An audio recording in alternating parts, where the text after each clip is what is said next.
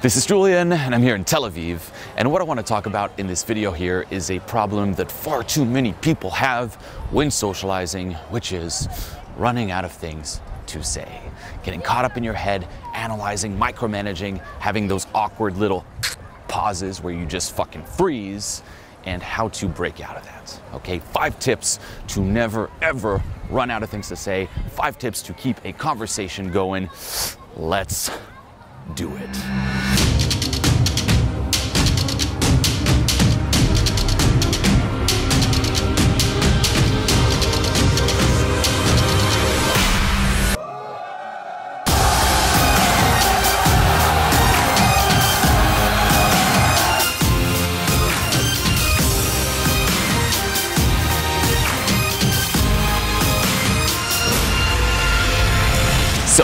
Number one don't focus on what you're saying, focus on how you're feeling.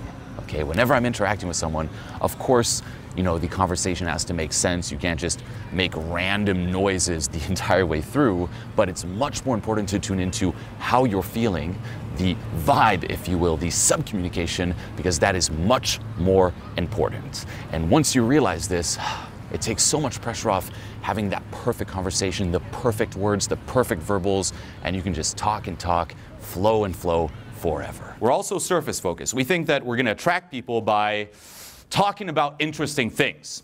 What is something that's interesting? What's interesting? What defines an interesting thing? Something that you like. Good job. In the back. okay? No, it's true. It's what you find interesting. If you're interested in something, it becomes interesting. There's no universal rule of what is interesting. There isn't. It's like, oh, I guess the topic of. No, no. Every single topic is boring to someone, and every single topic is interesting to someone. Okay? And it really depends how it makes you feel. You could literally be into mathematics. And if you go up and talk to someone, you're like, hey, two plus two, man, best fucking equation, four. That'll draw people in because you're so into it. It's like if a friend comes up to you and they're like, whoa, do you see that movie? You're like, what, what movie? You don't even know what fucking movie. You're like, dude, I just bought new bed sheets. Check this out. Bed sheets. It doesn't matter as long as you're into it. So instead of being so concerned about the other person, like, oh, what's an interesting thing to say? What do you find interesting? Even deeper, it's what do you find funny? Okay? You want to press three buttons, and I talk about this quite a lot. There's three inner buttons, three things that we're all craving fun, carefree, passion. Whatever you say, try to link it to one of those buttons. If you find it funny, that's good, because then you'll start ah, laughing, generating some fun, and that's what everyone's missing. You look outside, everyone's just so sad, so fucking sad, so bitter, so down. Um, it's rare you walk in the street and you see someone like that's like strolling down the street. Everyone's like, no, no, everyone's like this, like.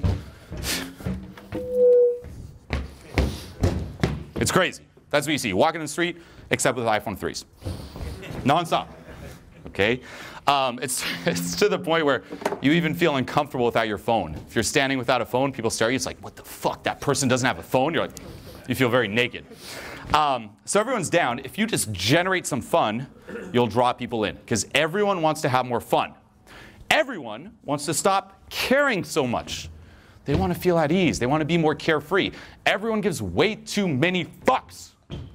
Stop giving a fuck. Go first, and they'll be drawn to you because that will transfer onto them. And every time they're around you, they feel a little bit more relaxed, a little bit more at ease. I'm sure you all have friends who give less fucks than you, right? Or at least one person in your social circle.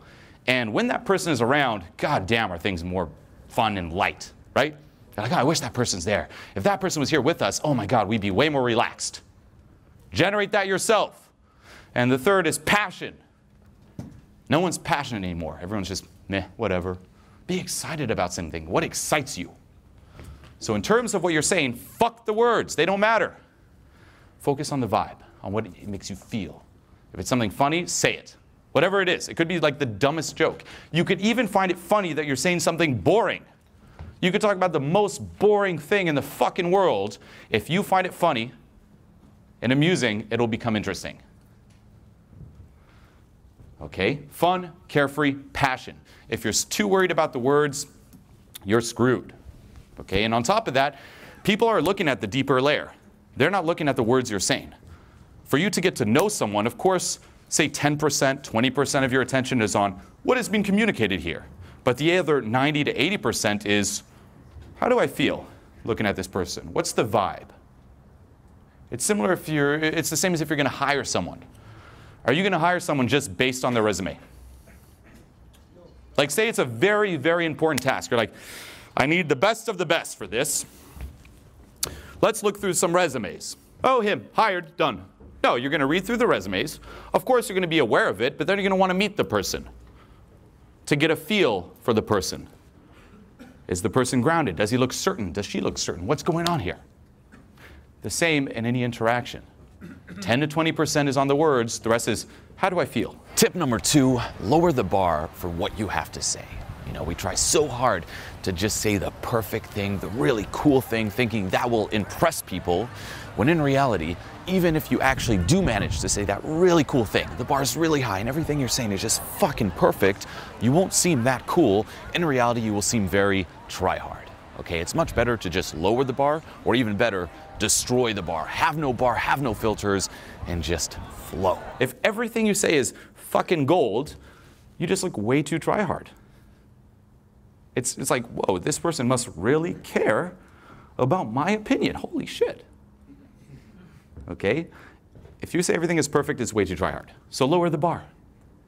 Okay? And that'll help you feel way more at ease. If your bar is so fucking high, even if you actually manage to say everything that's perfect, like this is good enough, all the rest is not good enough. This is good enough, not good enough.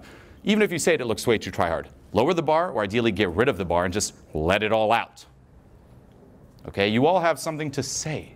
There's that little voice yapping about, probably even right now. Let it out. Even when you, run out of things to say in a conversation, it's not like your mind goes blank. You're like, I'm present to the moment. I am enlightened now. No, that voice is still going around and around in circles. Unless you come to Transformation Mastery Live, in which case it might go blank. okay? Um, verbalize it. Okay? Lower the fucking bar. Tip number three enjoy running out of things to say. Now, this can sound confusing because the whole point of this video is to not run out of things to say. But guess what? When you enjoy running out of things to say, there's no longer that worry, that resistance, that dread around it, and you don't run out of things to say. Check it out. I personally love, love, love it when I run out of things to say. Um, you can get better at it, of course, by lowering the bar, but there's still some times where you just kind of blank. You can have some go-tos, okay? Like you can blurt out random words, like whales. What, whales? Like you can just sit, literally say whales. Um, or, and this is my favorite, just move your lips and make a sound. For real. And words will come out. And, and you'll be surprised by what comes out. And that's the exciting part of an interaction for me. It's like when I run things to say, I'm like, oh, fuck. Let's make sounds and move lips and let's be surprised. And it's literally like I, I kind of zoom out and I'm watching myself. I'm like, what is he going to say next? like, that's when I surprise myself. I'm like, holy shit. And you just move your lips. Babble dick. There's a dick. Babble dick. That's me moving my lips, making a sound. Babble dick. Shimmy shoe. What the fuck is shimmy? Babble dick, shimmy shoe. Then the other person's like, what? And now you can laugh and build on that. Babble dick, shimmy shoe. You run out of things to say, babble dick, shimmy shoe. You run out of things to say, whales. You run out of things to say, condoms. You run out of things to say, um, sex. What? What do you say?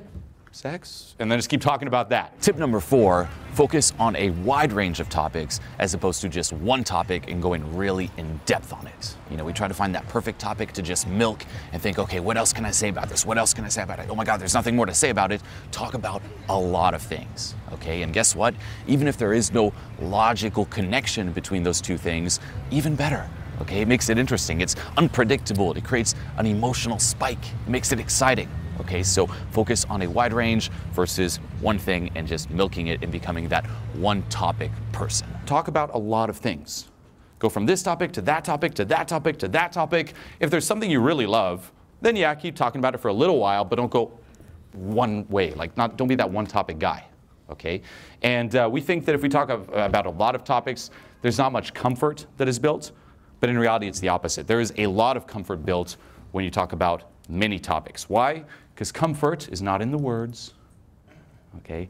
It's in um, creating a certain vibe of togetherness. How do you create comfort? By going through different environments together. The more environments you go in with someone, the more comfortable you're going to feel, the more trust, the more of a bond there's going to be. You don't even have to talk to that person. Like if I put, say, you and you, like two strangers, and you go do this like obstacle course mission thing, and you're not allowed to talk the entire time, and the mission's like a week, and you're helping each other out and shit. At the end, although you don't know each other's names or anything about each other, you're going to have a certain bond. There's going to be comfort. So the more environments you're in, the more emotions you go through, the more topics you go through, the more comfort, the more togetherness there is. So go through a lot. And the more abrupt the change in topic, the more illogical, the better. Meaning, we all want to string together this perfect interaction where if we talk about this, then I'll link it to this because it makes sense. If it doesn't make sense, it's actually even better. If you ask someone, so um, are you from uh, Tel Aviv? Oh, cool. What do you eat for breakfast? That there spikes up the interaction emotionally. Are you from Tel Aviv? What did you eat for breakfast? Is the sky blue? Uh, what, what? Like, how does this link to that? An emotional spike. So say things out of left field. Oh, yeah, you know, yeah, sports, awesome. By the way, are your parents divorced? What? What? and it doesn't even have to be extreme or polarizing. Just like, oh, that's awesome. Do you like the color brown? Shit like that. And tip number five don't take yourself so goddamn seriously. Okay? It's a conversation. It's not a mission where the fate of the world depends on you succeeding at this and doing everything perfectly. It's a fucking conversation. Relax, laugh at yourself, enjoy. It's not so serious. It's not a big deal. You're not James Bond saving the world in a fucking interaction. You're just talking to a stranger. Okay? You think people will remember you forever, remember this interaction forever. Um, even if you make a fool of yourself with someone you don't know who you just met, they will forget you very fucking fast. Okay? Most people you talk to, you could do the, the dumbest shit. You could like run out of things to say, be like, uh, and just like walk off. Like the weirdest shit, they'll forget you. They might remember you for like a minute. It might turn to friends like, that was weird. Um, anyway, done. You're out of existence. You could come back a week later. Hey, do you remember me? Nope. Who are you? Okay? Um, it's very, very difficult to make a long lasting impact on someone. Whether it's positive or negative, it's very difficult. We take ourselves way too seriously. We're in the me world. Everyone's looking at me, all about me. You're sitting here in the crowd. Everyone's looking at me. Okay, maybe they're looking at, at daddy up here, but a little bit at me too. No. Everyone's like you in their little world. It's hard to pierce through. So relax. And once more, the more carefree, the better. And um, I mean, you can just test it. There's always some people, and it's usually a different phase you go through, who take themselves very seriously, trying so hard to be cool and you can just sense the, the stiffness. Like,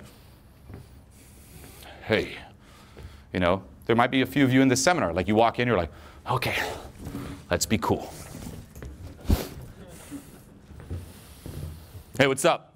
Yeah, I'm, I'm pretty advanced at this shit. yeah. And, you know, and they're very serious and they're like, oh, yeah, yeah, that's really good. You're like just way too seriously. And it's like, okay, I, I mean, yeah, you, you seem like quite confident on the surface, but it's just not a comfortable vibe you want to be around with. Okay? Confidence is not maintaining this rigid front. True core confidence is just relaxing and being okay with everything that is you. That's true confidence. That's the vibe you want. You don't want someone coming up to you like super fucking serious. Because it even, it even puts pressure on you. Like, do I have to be serious too? You want someone to just be like, hey, all is good. You're like, oh, thank God I can be me. That's what people want. Go first, give them that. And then laugh at yourself. Even awkward interactions make for great fucking stories. Awkward moments, we hate it, those are epic stories. Epic stories are either a, a, successful story, you're like, yeah, and then this happened, fuck yeah, or a really awkward story is just as fun. So put these five tips to use right now, okay? Implement this immediately.